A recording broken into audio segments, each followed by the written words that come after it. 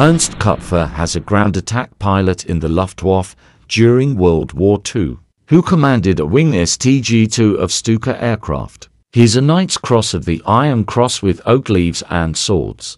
On the 1st of October 1928, Kupfer joined the military, serving with the Bavarian Cavalry Regiment 17, 5th Eskadron, from the 1st of May 1936 to the 3rd of March 1937. He returned to university in preparation for his Dr. Jur degree Doctor of Law, which he attained on the 4th of March 1937.